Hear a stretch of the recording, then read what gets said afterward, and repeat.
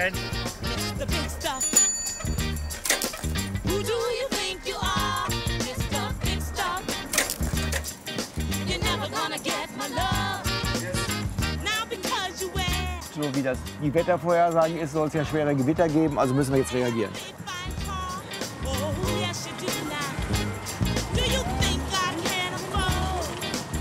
Das ist die schönste Veranstaltung äh, in ganz Europa.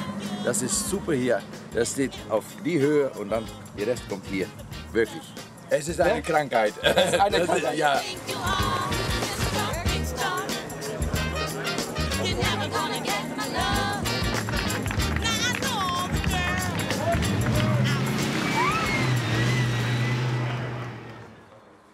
Dachdeckermeister Traugott Grundmann. So, morgen zusammen. Seine 30 Angestellten. Der letzte Arbeitstag vor dem großen Käfertreffen. Heute um 12 Uhr sein. Und zwar haben wir ganz Neben seinem Dachdeckerbetrieb dreht der Chef noch das ganz große Rad. Er organisiert einmal in vier Jahren das größte Uralt-Käfertreffen der Welt. Morgen ist es wieder soweit. Äh, Mein erster Gang am Morgen ist natürlich hier in die Kiste, um zu gucken, wie wird das Wetter. Erstmal für meinen Betrieb, wo die Wolken hinmarschieren und ob sie überhaupt marschieren und da zu entscheiden, wen ich wann wohin schicken kann und welche Arbeit ich machen kann. Das ist sehr hilfreich. Und äh, was unser Treffen angeht, äh, muss ich jetzt mal gucken in die Vorausschau. Heute Morgen habe ich also morgen Vormittag schönes Wetter, das ist also bestens, da kann ich mich schon drauf freuen. Nachmittag gibt es so ein paar, paar Tröpfchen, ein bisschen Regen, damit kann ich leben. Also wenn das so wie vorhersagt funktioniert, dann sind wir noch mit einem blauen Auge davongekommen. Das Wetter, ja, das äh, beantrage ich noch. Mal gucken, ob es funktioniert. Ja, sehen Sie mal zu, dass jetzt am Wochenende schön bleibt. Das habe ich wieder die Arsch. Das auf jeden Fall. Hessisch-Oldendorf. Der gesamte kleine Ort an der Weser macht sich schick. Überall sind die Schaufenster geschmückt.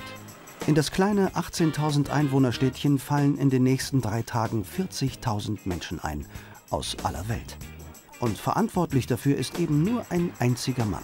Er, Traugott Grundmann. Unser großes Motto ist, geht nicht, gibt's nicht. Also das heißt, wenn ein Problem da ist, wird sich angeschaut und dann wird auch irgendwo eine Lösung gefunden. Wen hat man da in das Steuergesetz, Björn? Amerikaner. Hä? Alles dürft ihr machen, bloß keine Beule fahren. That's the reason you came here, huh? to drive this car. Huh? Yeah, looks like. Huh? Die ersten Fans und Blechstars sind schon da. Die Prunkstücke müssen in Position gerollt werden. Schließlich soll sie morgen jeder sehen können. Das ist ein Peter Max Müller Rennwagen. Peter Max Müller war ein Rennfahrer in den 50er Jahren, der mit Käfertechnik seine eigenen Rennwagen gebaut hat. Und die waren so erfolgreich, dass er mehrere Weltrekorde aufgestellt hat mit diesen Autos. Ist einer von den überlebenden Exemplaren, noch in einem wunderschönen Zustand. Ja? Junge, totschick. Ja, nochmal morgen. Die Polizei ist da. Hauptkommissar Brandes und sein Kollege Dorndorf. Geht das so? Sehr gut. Zu weit vorne oder zu weit hinten? Nee, ihr könnt ein bisschen weiter nach hinten. Ja, dann müssen wir unten drehen. Das ist, deswegen sage ich das ja. Das ist nicht so wie heutzutage Hebel heben, sondern hier unten sind solche Flügelschrauben. Die werden hochgedreht. Andere Seite auch. Ja, das ist, die Polizisten waren früher vielleicht ein bisschen kleiner, ich weiß es nicht. Ich hätte den Vorschlag, jetzt weiß ich nicht, also ich hätte jetzt den Vorschlag, dass ich das Ding erst warm fahre. Sonst macht das, glaube ich, Dass du erstmal dass fährst. ich erstmal fahre, er sich anguckt, Und dann setzen die beiden sich erstmal rein und dann Und macht er, macht er unterwegs. ist, machen wir den Fahrerwechsel, weil es ist, fährt sich auf jeden Fall angenehmer, wenn er warm ist. Gut, machen wir so. Hauptkommissar Brandes und sein Kollege Dorndorf von der hessisch-Oldendorfer Polizei leiten morgen den Einsatz beim großen Käfertreffen und müssen Streife fahren. Aber wenn schon, dann stilecht. Tell me,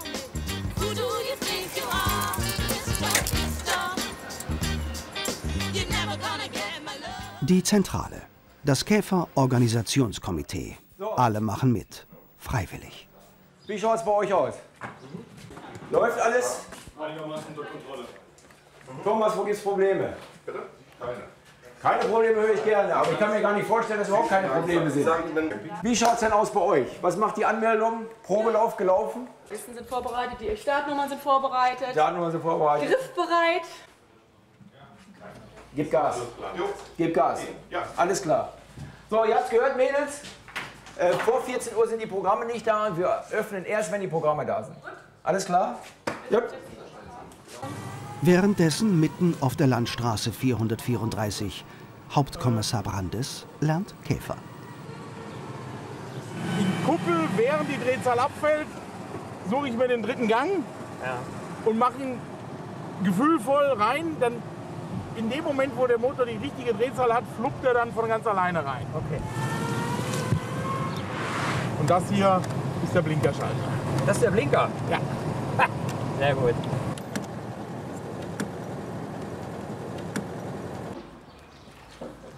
Hallo Kurt. Na, bist du schon genug gestresst von den ganzen Aufräumarbeiten hier? Der alte Gutshof an der Weserstraße 16 wird geräumt. Hier hinter dem alten Gemäuer soll morgen die berühmte Käferersatzteil-Tauschbörse stattfinden. Maßarbeit hat Traugott Grundmann von der Pike aufgelernt. Denn bevor er Meister für seinen Dachdeckerbetrieb wurde, war er Offizier bei der Bundeswehr, hat Piloten auf dem Kampfjet Phantom ausgebildet. Risikofreude und Akkuratesse. Beim Käfertreffen braucht er beides. Genau an diesen Stellen ist jetzt abgezeichnet. Hier hat einer seinen Stand 4 Meter. Das heißt, er darf bis hierhin seine Sachen stellen. Alles, was darüber geht, gehört schon wieder dem Nächsten.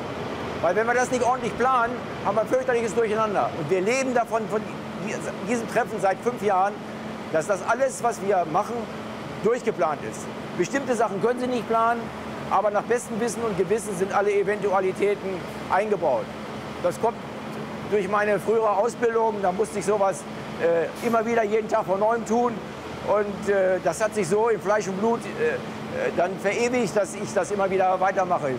Die schimpfen natürlich manchmal, muss dann alles bis zum letzten Detail geplant sein, aber eine gute Planung ist schon die Hälfte von der Arbeit an so einem Treffen. Hauptkommissar Brandes darf inzwischen fahren. Wichtig, immer mit Gefühl, damit sie keinen Unfall bauen. Doch plötzlich Qualm. Aus dem Kofferraum. Der ist beim Käfer vorne. Ahne was? Ahne was? Ein Kabel ist durchgeschmort. Fahren geht noch. Schnell zurück.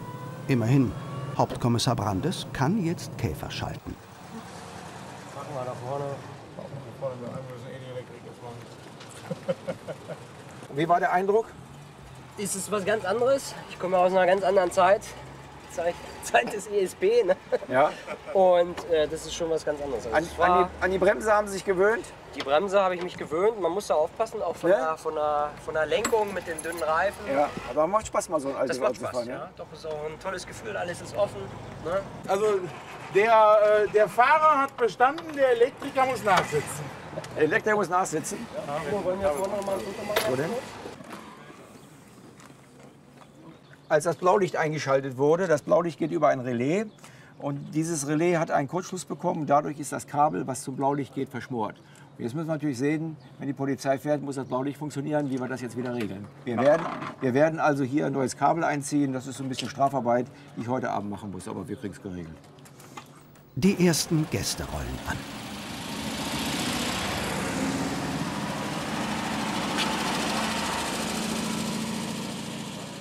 Plötzlich verdunkelt sich der Himmel. Ja, wie ich bei dem einen Schwimmer müssen wir das Dach noch hoch machen. Hier, mach doch das Dach mal bei dem Schwimmer da hinten hoch.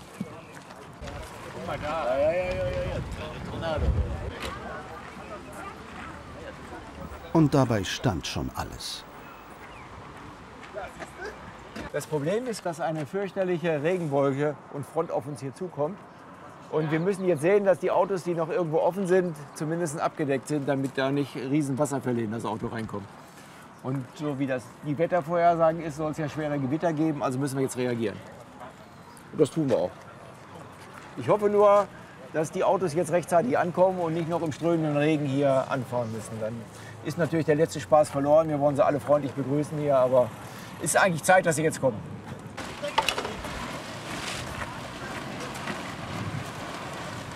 Erst Aufbau, dann Abbau. Der Zeitplan trudelt. Einfach zusammen irgendwie. Das ist jetzt eh nicht gerade. Ja, komm. Zieh doch alles weg, siehst du nur. Machen wir so gar nicht verrückt. Guck doch mal nach oben, bis jetzt ist hier nichts gekommen, ne Björn? Unbeeindruckt von den Gute-Laune-Parolen des Chefs arbeiten die anderen weiter. Das zieht doch an uns vorbei. Ich weiß gar nicht, wie so, so ein Wirbel macht hier. Dramatische Fehleinschätzung. Nichts zieht vorbei. Der Himmel platzt direkt über Hessisch-Oldendorf.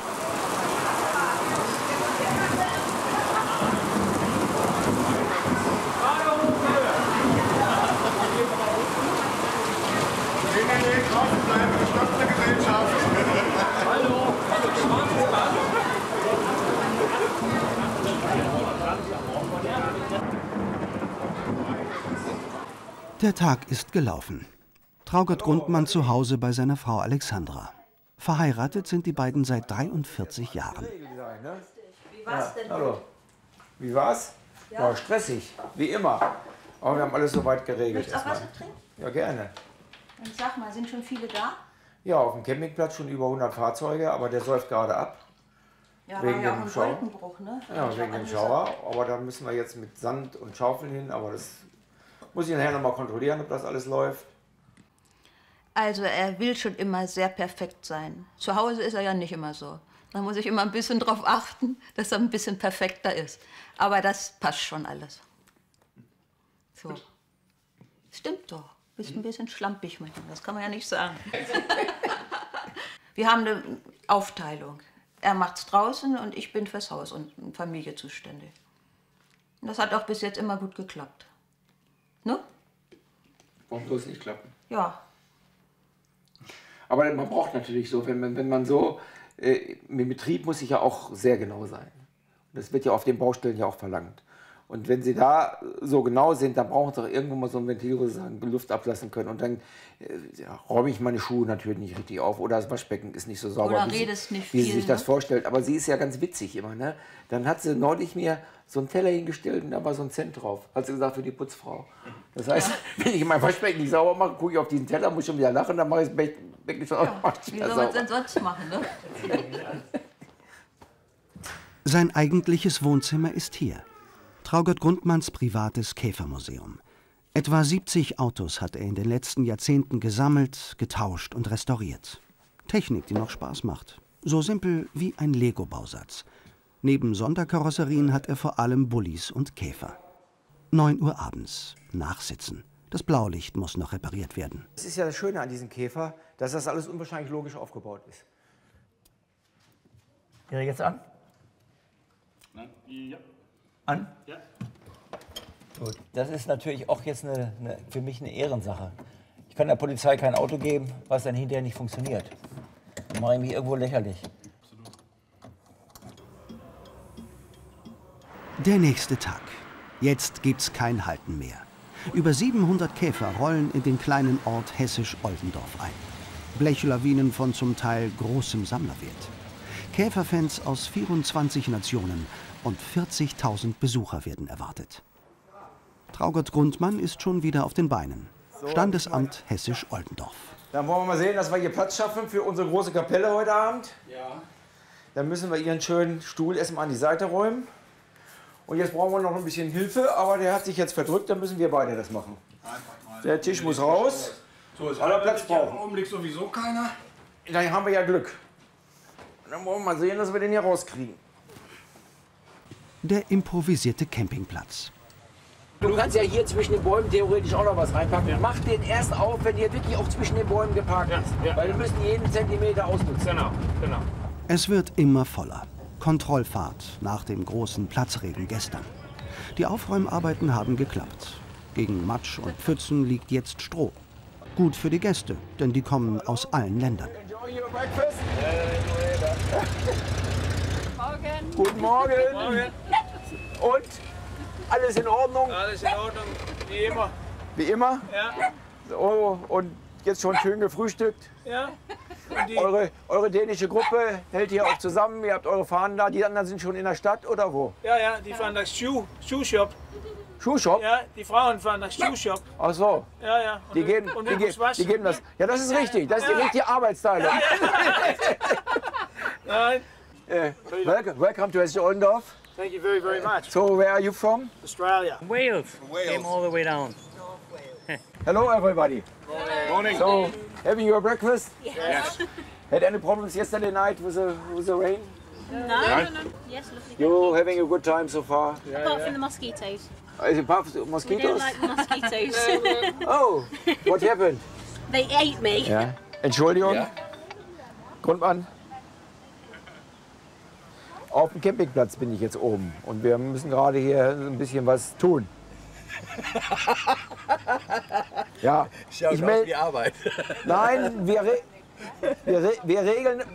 Ja, wir, wir regeln das alles und wenn ich unten bin im Büro, dann kriegen wir das auch geregelt. Äh, ich komme aus Holland und äh, ja, das ist die schönste Veranstaltung eigentlich für uns hier in Europa. Das ist super hier. Das steht auf die Höhe und dann der Rest kommt hier. Wirklich.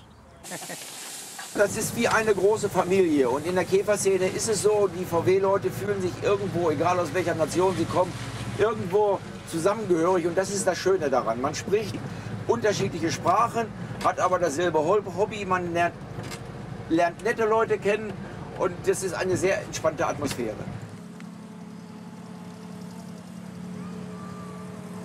Ich habe äh, mit einem Betrieb. Stadtzentrum. Die Party ist im vollen Gange. Traugott Grundmann ist jetzt ein bisschen wie ein Promi in der Fußgängerzone.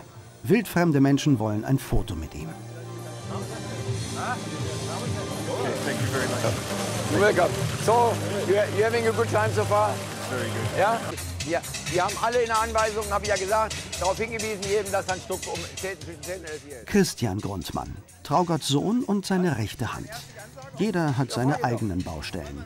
Beim großen Käfertreffen sehen sich Vater und Sohn eigentlich nicht. Es sei denn, es gibt einen Sonderauftrag, so wie jetzt. Christian muss der Polizei von Hessisch-Oldendorf noch den Streifenwagen vorbeibringen. Das Blaulicht ist ja repariert.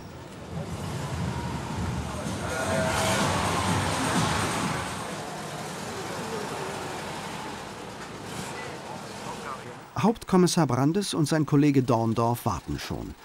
Und Christian ist genauso gut im Organisieren wie sein Vater.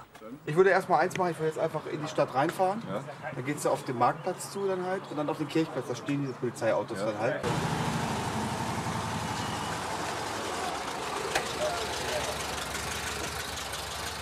Währenddessen wieder im Standesamt. Hallo? Guten Tag. Ihr seid mit der Technik da. Klasse. Reicht euch das? Wunderbar. Sollte doch reichen. Ihr habt eure Steckdosen mit allem drum und dran. Wenn ihr so nett seid, kein, keiner von den normalen Leuten darf hier oben hoch. Die Kapelle darf hier oben hoch. Bitte da nicht anfassen. Ihr könnt die Stühle benutzen. Hier vorne kommt hinter der Trassenwand hier vorne vor. Die können also bis zur vorletzten Stufe hochgehen, aber hör nicht. Und wenn es nicht klappt, sagst mir Bescheid. Haben wir das jetzt mit den Marken fürs Rote Kreuz geregelt? Gut. Oben im Rathaus hat sich der Bürgermeister Harald Krüger extra drei Tage Urlaub genommen, um mit anzupacken beim großen Käfertreffen. Er hat sich eine Überraschung ausgedacht. Dem engagiertesten Mitglied seiner Gemeinde will er mal richtig Danke sagen. Und zwar mit der höchsten Ehre, die er zu vergeben hat. Eine Urkunde. was äh, Traugott Grundmann äh, bewegt, alle vier Jahre, wie äh, nach London eine Olympiade gegangen ist oder nach in andere äh, Städte äh, internationalen Ausmaßes, das ist für uns halt die VW Käfer oder VW Veteranen Olympiade und da sind wir unheimlich stolz drauf. Heute Abend soll es soweit sein für Traugott Grundmann. Der ahnt noch nichts von seinem Glück. Wie viele Kilometer Vater und Sohn an diesem Wochenende laufen, ist kaum noch messbar. Das Prunkstück neben der Kirche, dieser 3806, weltweit der älteste zugelassene Käfer, Prototyp Baujahr 1938, hat ein Problem.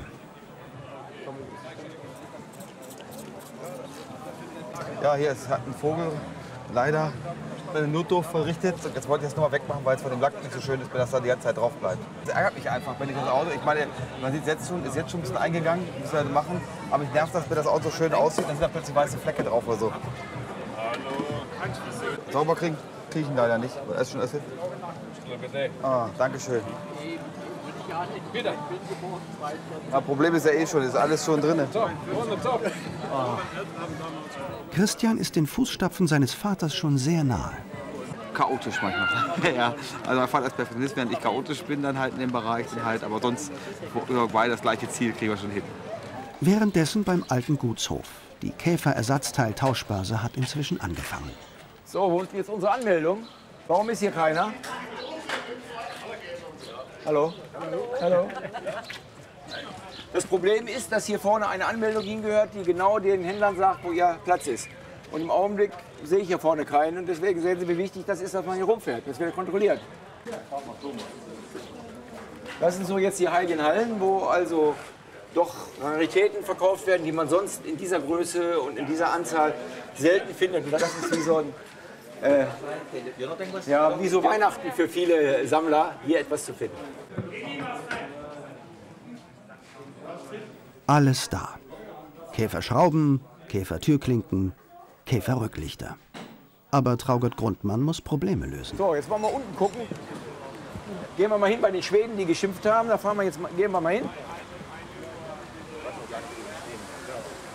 War das denn schon gedacht, dass das jetzt alles auf ist? War das denn schon so gedacht? Kannst es einfach nicht verhindern. Ja. Ich habe ihm versprochen, dass er in vier Jahren hier vorne mitsteht wieder. In vier Jahren? Ja. Du bist ja ganz großzügig. Ich weiß gar nicht, ob ich vier Jahre wieder mache, nach dem Ja. ganzen Stress, den ich jetzt hier mache. So, das ist, das ist der Platz. Die Jungs sind nicht da. Und hast du mit denen gesprochen? Sind die jetzt Ist zufrieden? alles okay. Haben die jetzt genug Platz? Die haben reichlich. Wo, wo lag das Problem? Sie wollten dastehen vor dem Gebäude. Oh, das interessiert uns gar nicht. Also da, da, das mache ich auf einer Backe, denn die können froh und glücklich sein, wenn sie ihren Platz gekriegt haben. Und wir machen das nicht nach Wunsch, sondern so, wie wir das eingeteilt haben. Genau. So, ist alles klar jetzt mit allen jetzt? Wie der Vater, so der Sohn. Macht doch mal hoch, dann da aufsitzen, ne? Alle los dann, ne? Los! Alle Schwimmwagen! Los, wir fahren jetzt! Vorne, in, alle in die Richtung bitte, da hinten geht's hin! Komm. Wo ist denn? Und jetzt so erstmal alle Menschen zusammenzukriegen, dass wir auch losfahren dann halt. Also erstmal, bis der erste raus ist. Dann. So, aber jetzt geht's ja langsam, jetzt fahren wir alle raus. Jetzt war's dann halt. Der Höhepunkt des Käfertreffens, die Schwimmwagenshow. Wie der gute alte Käfer fahren auch die Schwimmwagen mit einem VW-Motor. Und jetzt geht's in die Weser zum Schwimmen.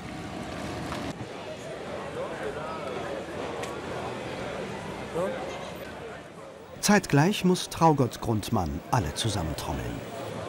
Zeit für die Ausfahrt. Macht euch fertig. In 15 Minuten geht's los.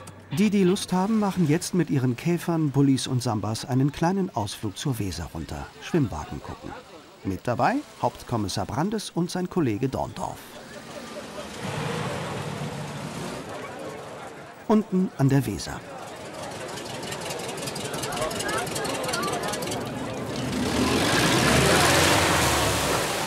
An dieser Stelle ist der Fluss 2,50 Meter tief. Die Gehäuse sind wasserdichte Stahlblechwannen.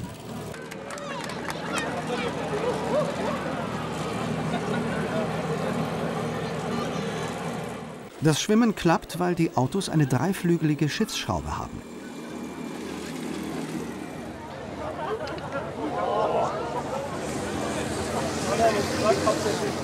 Nach fünf Kilometern flussabwärts kommen die Wagen wieder raus. Und dank Allradantrieb gelingt das auch. Allen. Bis auf einem. Christian. Der treibt ab. Immer weiter den Fluss hinunter. Und plötzlich ist er weg. Verschollen auf der Weser.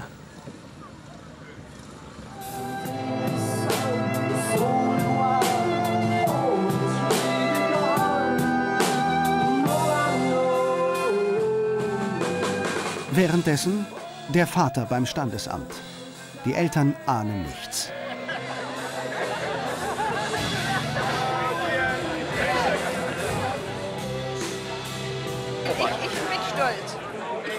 Dass alles so gut klappt und die Menschen alle so glücklich sind.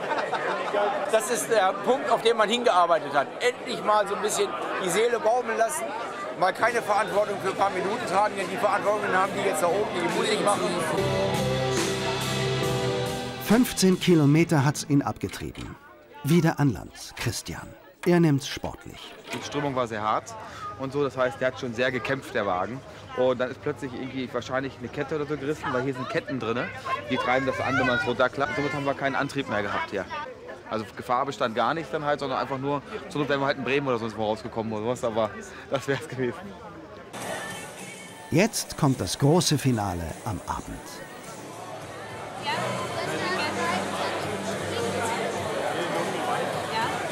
So, pass auf, jetzt müsst, wer kann mir erklären, was wo ist und wie was gedacht ist von euch? Hä? Sie macht das. So, also haben wir eins, zwei, drei, vier. Drin habt ihr nochmal zwei, ne? Und im Restaurant. Guck ich mir gleich mal an. Und ab wann seid ihr startklar? Wir befüllen jetzt und dann gibt's Vorspeisen und dann geht's los. Ja, es kann ja erst losgehen, wenn ich was gesagt habe und wenn wir die ganzen Leute begrüßt haben. Also, Ich frag den Chef, was er sagt, wie lange er noch braucht. Ja, deswegen ähm, hab. Ja, frag mal. Gar nichts. Die haben ein Problem, ich nicht. Die müssen sehen, wie ihr Essen warm bleibt. Das ist nicht mein Problem, das ist deren Problem. Ist ja klar, wenn wir um 19 Uhr anfangen, dass erstmal was gesagt werden muss. Und das müsste eigentlich jeder wissen. Und wir werden es ja sehen, ob es ein Problem gibt oder nicht. Das funktioniert. Das wollen wir auf. Es wird also, ja richtig heiß reingestellt und es funktioniert. Ihr habt da kein Problem. Nein. Also ich, ich bin so erzogen worden, wenn ich eine Sache mache, mache ich sie richtig. Und mit den Leuten, die so nebenan oder nebenbei etwas machen, können sie Straße pflastern. Entweder richtig oder gar nicht.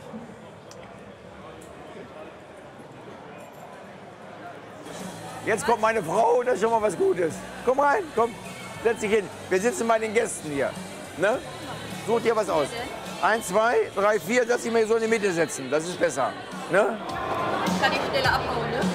Naja, das ist, nee, das ist ganz gut so. Es geht los. Vater und Sohn auf der Bühne.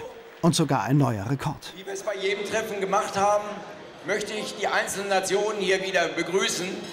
Und diesmal haben wir einen neuen Rekord. Wir haben diesmal 40 Nationen hier in.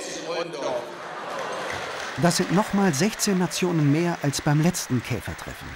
Und jetzt kommt die Stunde der großen Bürgermeisterüberraschung. Auf Englisch, damit es auch jeder versteht.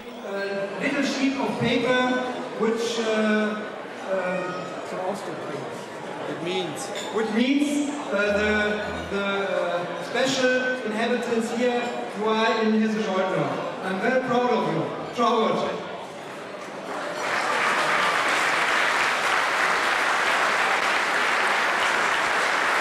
Thank you very much.